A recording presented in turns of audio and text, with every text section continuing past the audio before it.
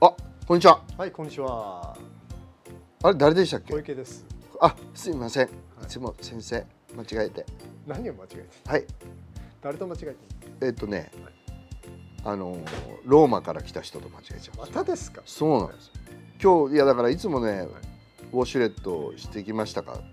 それ映画のネタだから。あ違うネタじゃないんですよ。だってこれですよ。だって見たことない人ほらほらほらら。ほら。ほら。なんですか？ここれだってローマ風呂です。れ顔が濃いだけでしょ。いや違う違うね。絶対本人だけどね隠してまあいいあのいいですよ。あの正体を隠していただいて今日も何かを一つ教えていただければ。はい。えー、今日はですね。はい。あの足の裏のバランス。はい。今ねあのスイングカタリストとかいろいろ機械があるんで、うん。もう本当にああいう機械に乗っているとす分かると思うんですよ。うん。あどういうふうに重心かかってるなとかうんでしかもね今はそのどのくらいこう体重移動してるとかその回転スピンコイルですねコイル、うん。そしてバーティカル縦の動き。ああいうのも全部数値化できるようになってきた。うん。ただ全員が全員ねあの機械に乗れるかっつったらまだね日本になんない、まあそうなんだよな。そこら中にあるわけじゃないんで、うん。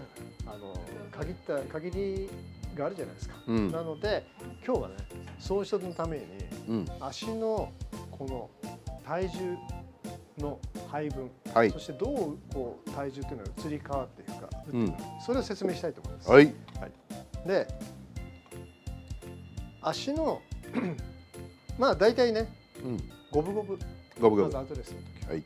で五分五分にまあ卒正面を立ちますね。こういうふうにして五分五分に立ってます。うん。でもちろんだけどテイクバックしている時に右足に乗っていくんです。はいでこの時に大体70から80ぐらいうん。で結構7割とか、まあ、うん。このぐらいが平均値なのかな、うん。だからよくでもこれも数字だって、うん。実際にそのプロプロたちにも聞いても、うん。いろんなプロに聞いてもうん。ねなんとなく5.5とかうん。6とかうん。ちょっと真ん中より右ってしか表現しないですよね、数値でいくとやっぱり78割いっちゃうんだけどやっぱりそれはやっぱ7割ぐらいかな。うんうん。結構大きいんですよ。はい。でこれってどういうことかっていうと踏み込みとかがあるんで自分で体がこう動いてるわけじゃないんでうん。その圧力で数字が出るわけです。はい。でだから実際に感覚的には5.5とかでもいいです。真ん中よりもちょっとこう右行ったかなとか。でこの時にねやっぱりああいう機械とか乗ってもそうなんだけど、うん。実際にフォワードプレスが入ってくるんであ必ず真ん中の状態から右に1回行きますよってならないようにしてください。なるほどなるほど。必ず数字的にもやっぱりみんなそうだけど、一瞬左をこう踏んだ動きでで右に乗っていくんでうん。データ的にもやっぱりちゃんと左に乗って右。に行く。うんうん。でこのスイングのうん。あの移動っていうのはうん。5回行われるんですよ。お1.5お秒以内これは初めて聞いたよ。な大体うん。あの1、2で。え2感回じじだよね。ゃないですかって言うんですけど、うん。実は5回。行く。5回。どういうことかっていうとこれ細かく言うと釣り持ってく餌じゃないよな。何ですかそれ。5回。釣りやらないくせに知ってんだよ昔。ちょっとだけやったん5回だ触れない触れない。怖い怖い。で左にうん。まずフォワードプレスで1回乗ります。一これちょっと大げさにいきますよ。うん。乗ります。1で右乗ります。二2うん。で3で踏み込みます、うんで実際に4で少し戻って右足でああなるほど。で最後お5で五また左に乗る。ってことはこの1.5秒ぐらいの間に、うん。12345ってこゴルフスイングって複雑だね。うそう。この動きをうん。この短い時間でやるってうん。やっぱり考えてやったらできる。できないね。そう。だから今の動きっていうのは実際だけど2だと思ってるとこれブランコじゃないけど、うん。ちょっとスエしがち。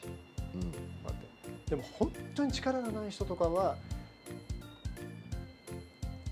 こうやってスイングしてもいいです。なるほど。これは別に、うん。ただパワーがあったり少し下半身ができ使えたりとかするんだったら腰が使えるんだったら、今言ったようにに5回動いてください。なるほど。そう。でこれはゆっくりなイメージでできますからここは。です234 5ってああいいかもこれねを一瞬でしてたまにねうんこうするわけうんこういうふうにするそうそうするとうん右左右左ってってことはどういうことかというと結構頭って、うん頭じゃないけどまあ重心っていうか軸っていうのは真ん中にいないといけないってこと、うんね、スピードスケート前も言ったけど、うん動くのにこうやってっちゃったらただのスケートになっちゃうん。早く行きたかったらもう行った時にはこっち戻らなきゃいけないからこういうふうに行かなきゃいけない。それスピードスケート今の？スピードスケート。こうでしょスタート。うんああそれはスタなんか近い。それでその後、うん。カシャカシャっていく時にほら真ん中にいるじゃん。ああいる重心だけえ？右ちょっと右左行かない？そうだから重心だけはこう。あ重心だけ。実際行くんだけどスースーあでも確かに。に足に対して。あそうだ。ちょっともう一回見直してみよ見直さなくていいですうまっすぐそういえばねブレてないかもしれない。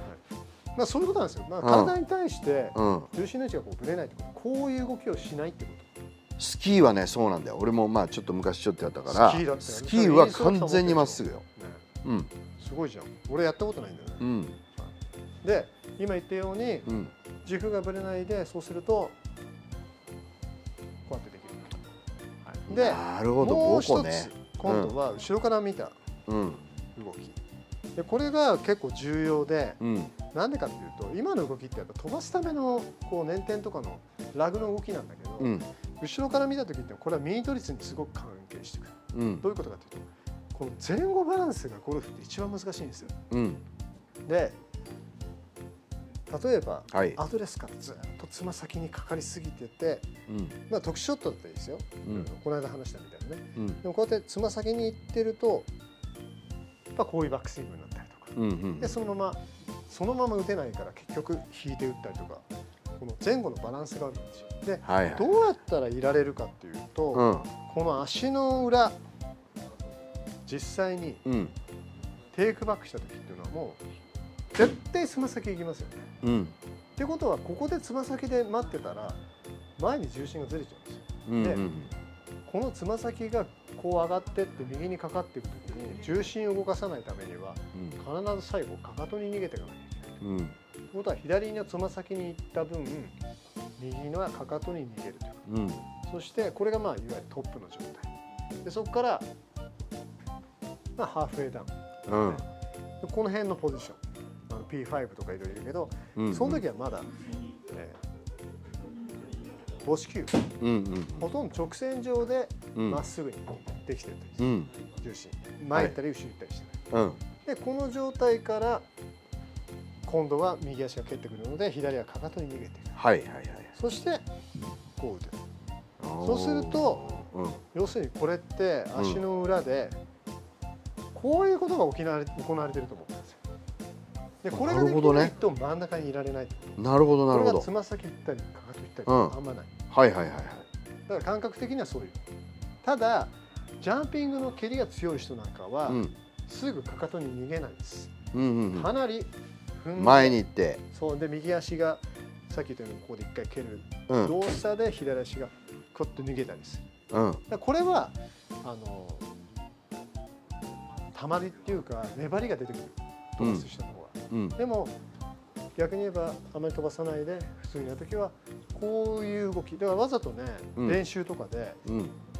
ショットでこうやって練習してもいい。ああなるほど。そううん。自分が真ん中にいられるんで、こうん。これはも心の中口に出してふみふふみふみふみふみとか言っちゃいけないの？う全然いいです。よいいですね。口に出すってすごい。いいこと、あいいこと。はい。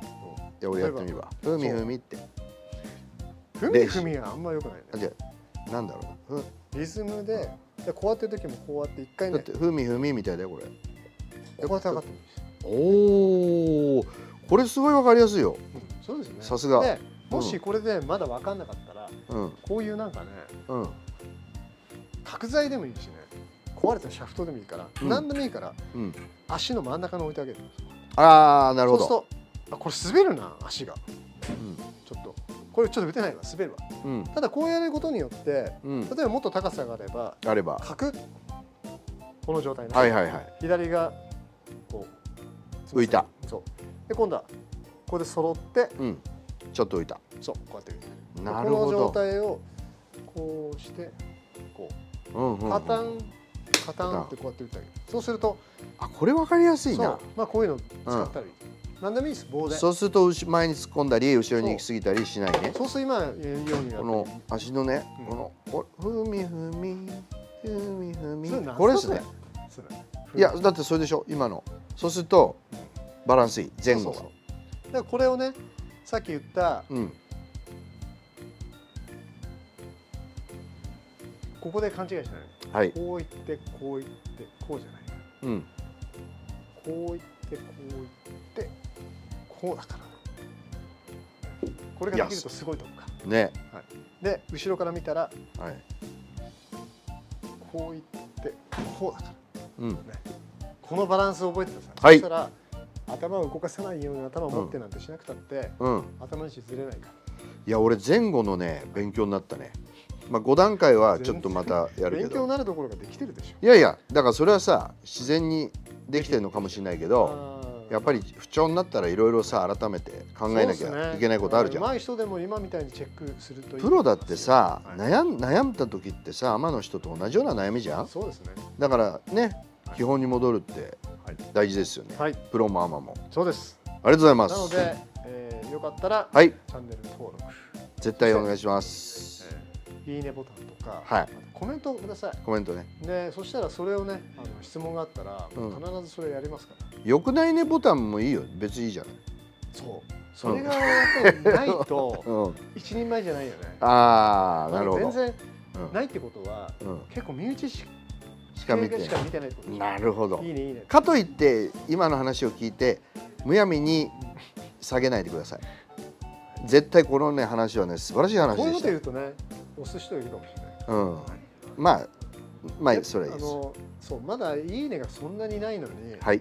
これがいっぱいあったらあそうか。確率あの数字的これにねが出てくるってほらすごい何千何万とかでもね。なってその中でこうね何十とか。なるほど。今の俺たちのいいねの数からうん。これがいっぱい出てきちゃったらどんだけダメなんだいいねの 2, 2倍下が出てきたらはい。ちょっとあの外線運動しましょうね。車であの外あの下が多すぎたら僕たちは正しいとか言って。意味わかんないです。ね、新橋駅前で。ゴル銀座でやってる。ゴルフ来るなら銀座ゴルフクリングっつって。はい。小池大館小池大館よろしくお願いしますっつってね。あの都知事じゃないよ。小池竹春の方です。都知事。よろ竹春ですからね。竹春。大館俊明じゃあはい。でそんなことなので、はい。えーちょっといろいろ練習場で試してみてください。はいためになりました。ありがとうございました。ありがとうございます。はいごきげんよう